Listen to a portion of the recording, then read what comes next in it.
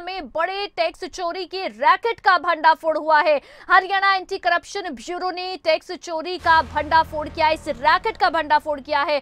Haryana ACB ने 22 ठिकानों पर छापेमारी की। टैक्स चोरी के रैकेट में शामिल थे हरियाणा के अधिकारी। तो बड़े लेवल पर यह टैक्स चोरी का रैकेट था जो चलाया जा रहा है इसका भंडाफोड़ किया है। अब एसीबी ने और इस समय आपको बता दें कि दरअसल ये जो बड़े लेवल पर आ, पूरा खेल चल रहा था। टैक्स चोरी का ये ट्रांसपोर्टर्स के साथ मिलकर इसे अंजाम दिया जा रहा था। धीरज गर्ग नाम के अधिकारी के 40 करोड़ के से ज़्यादा की अवैध संपत्ति मिली। फर्जी पतों पर खोली गई शेल कंपनियों के ज़रिए खरीदारी की गई। पूरी जानकारी देने के लिए हमारे साथ अनिल मोर। इस समय हमारे संवाददाता फोनलाइन पर है। अनिल, किस तरह से पूरा ये रैकेट चलाया जा रहा था और इसे लेकर क्या पूरी जानकारी अभी तक सामने आ रही है? देखिए, अगर बात करें आईआरएस धीरज गर्ग को एसीबी की तरफ़ से गिरफ़्तार कर लिया गया और जो आरोप धीरज गर्ग के ऊपर लग रहे हैं, एक बड़े आरोप लग रहे हैं, जो कल पूरे दिन एसीबी की तरफ़ से प्रदेश भर में छापेमारी की गई, कई शहरों में छापेमारी की गई।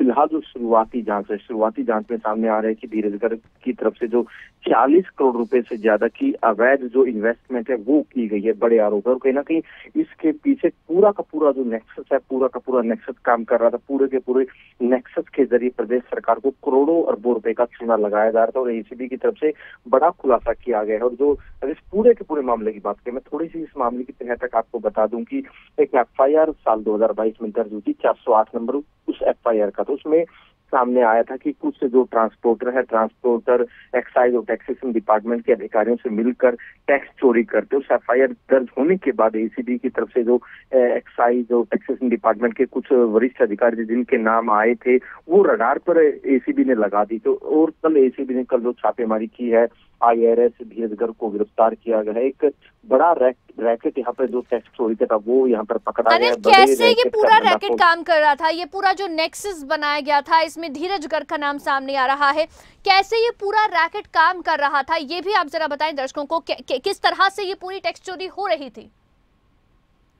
देखिए जो पूरे के पूरे नेक्सस की बात करें जो एफआईआर 2022 में 408 नंबर एफ़ थी वो दर्ज हुई थी। उसके तहत जो खुलासा हुआ था, उस खुलासे में सामने आया था कि जो ट्रांसपोर्टर है, जो फरीदाबाद, गुरुग्राम, एनसीआर के जो बड़े ट्रांसपोर्टर है, बड़े ट्रांसपोर्टर एक्साइज और टैक्सेशन डिपार्टमेंट के साथ मिली भक्त करते हैं। मिली भक्त करके जो ट्रांसपोर्ट है ट्रांसपोर्टर की तरफ़ से मंथली इन अधिकारियों को दी जाती है और मंथली के ज़रिए क्या होता है, जो ट्रांसपोर्टरों की तरफ़ से जो माल ले जाया जाता है, उस माल में कहीं ना कहीं जो टैक्स चोरी होती है, बड़े स्तर की टैक्स चोरी होती है। बाकायदा जो ट्रांसपोर्टरों की मिली भक्त होती है।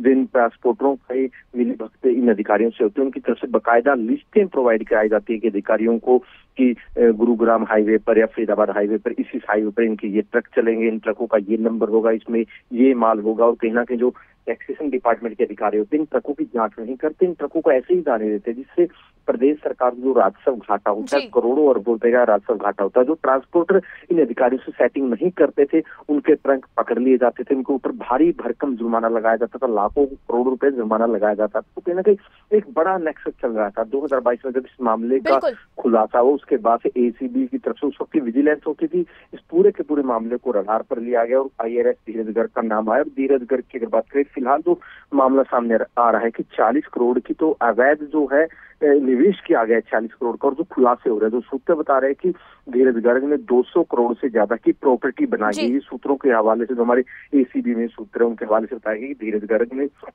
200 करोड़ से ज़्यादा की संपत्ति बनाई है। धीरज को अब अरेस्ट कर लिया गया अब देखना ये होगा कि पूछताछ में क्या कुछ निकलता है क्योंकि ये एक बड़ा नेक्सस है बड़ा पूरा का पूरा एक गिरोह काम करता है जिसमें ट्रांसपोर्टर भी होते हैं एक्साइज टैक्सेशन डिपार्टमेंट के अधिकारी भी होते हैं कर्मचारी भी होते हैं। बड़ा तो तय है कि सिर्फ़ अकेले धीरज गर्ग नहीं बेशक धीरज गर्ग इस मामले में अभी तक उनका नाम खुलकर सामने आ रहा है। Additional excise and taxation commissioner है एक बड़े लेवल के अधिकारी लेकिन सिर्फ़ इतना नहीं हो सकता अनिल की एक अधिकारी इतने बड़े नेक्सेस को चला रहा था। हो सकता है कि अभी जाँच के और भी लोगों तक पहुंचेगी।